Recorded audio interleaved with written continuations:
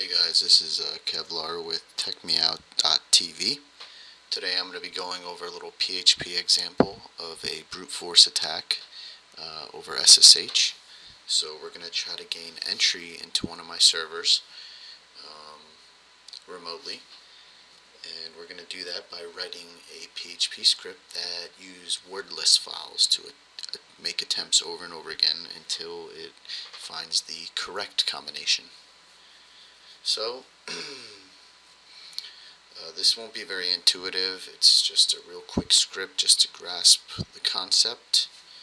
Uh, but so here we are on a CentOS box. I've got PHP installed, and uh, we're in the scripts PHP forcer directory. In this directory, I've got force.php, which is empty right now. Um, uh, libs, I've got uh, PHP seclib, so just Google PHP seclib, download that library, and go ahead and put it on the server or whatever environment you're in. And then I've got a uh, lists or list directory, which is where we're going to put our word list in. Um, Alright, so to get started, um, let's go into force.php. We're going to need to include uh, the PHP seclib library. So let's go ahead and do that. We've got that in libs, PHP seclib, uh, net, SSH2. We're going to want to SSH, so we're going to use that library. Alright, um, to do that, we're going to create a new net SSH2 object. And um, so my server is going to be um,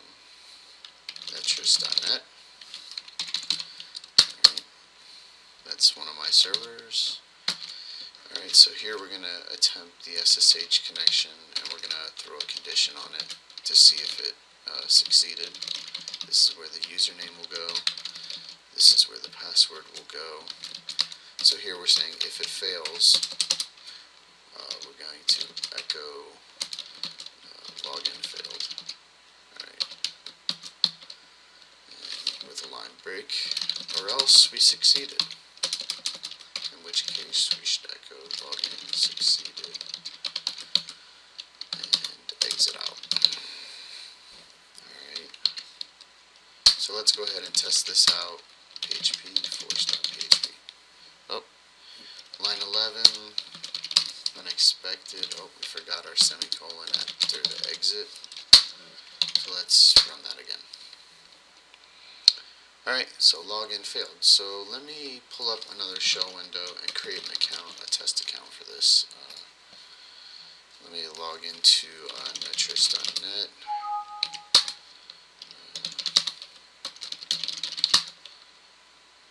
Oops.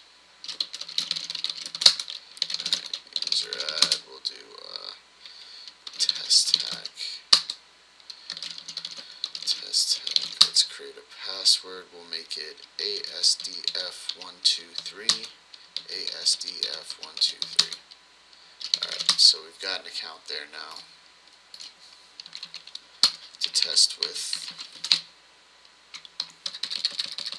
test hack and our password was ASDF123. Let's just test to make sure our library works properly and now we have succeeded login with the new account. But let's assume we don't actually know the credentials. We don't know the username and password and that's what we're writing this script for. Alright, let's create um, some dummy word list files. Um, obviously we would want, or we would have a longer list of files. We'll make this the user list. And we'll do uh, Bob, Jim, Joe. Then we'll throw test hack in there, which is our actual account. Tim, alright. And now let's do a pass list.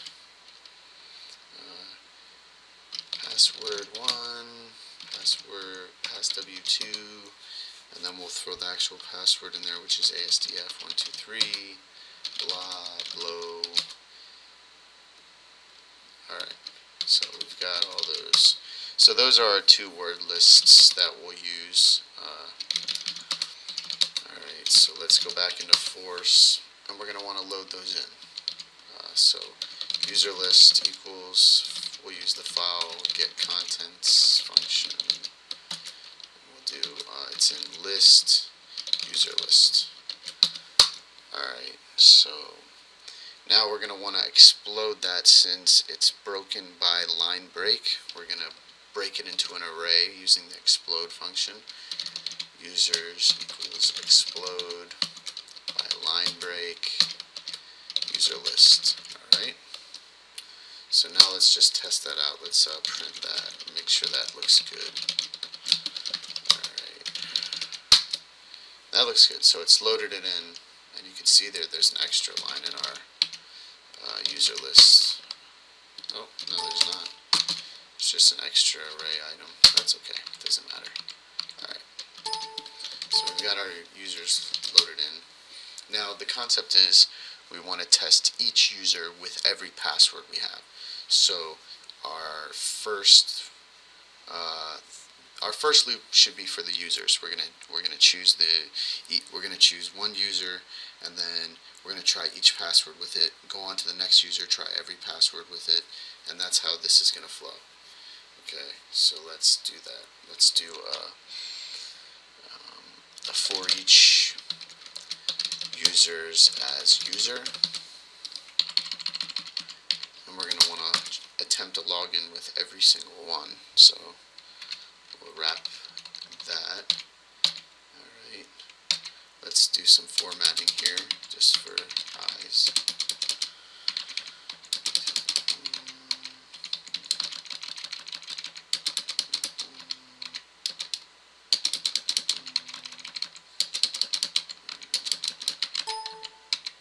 Alright, that looks better. Alright. So for each user, we're going to try an SSH attempt. Okay. Now, um, inside of this one is where we're going to want to throw um, the next loop through, which is the, so we're going to want to load the password file for each user. So let's do uh, pass list equals file get contents list pass list I believe we called it same we're going to want to explode it. Passes equal explode by line break. Pass list for each. Passes as pass. Alright close this up. And correct the formatting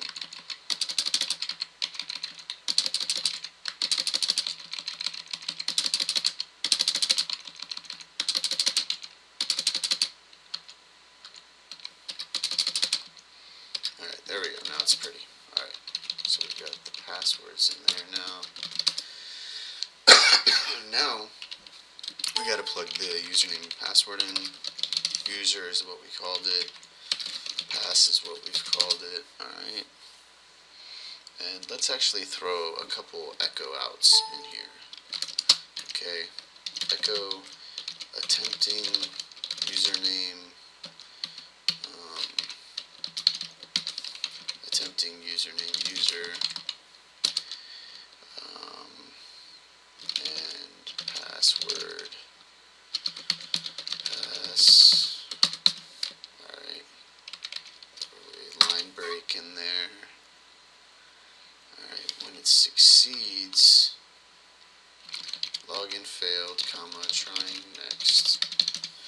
Alright when login succeeds it's gonna exit out we want to exit with a message though.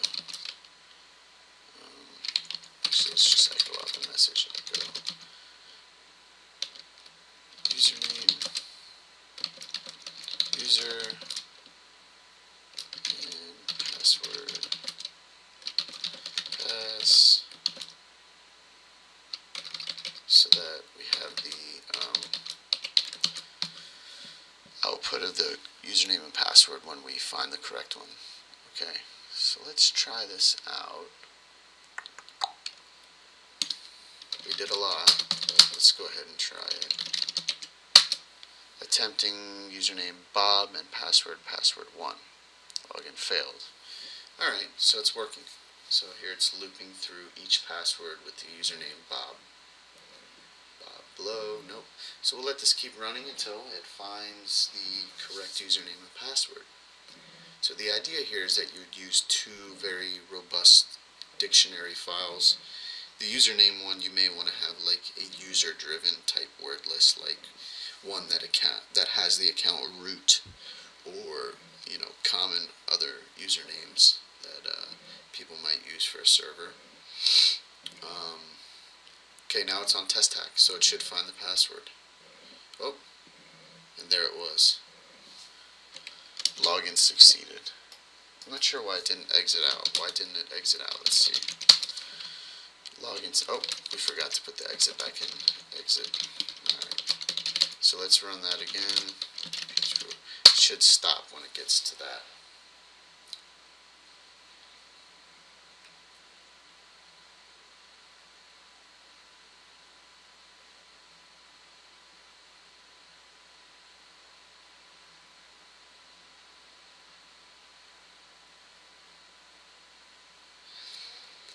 Alright.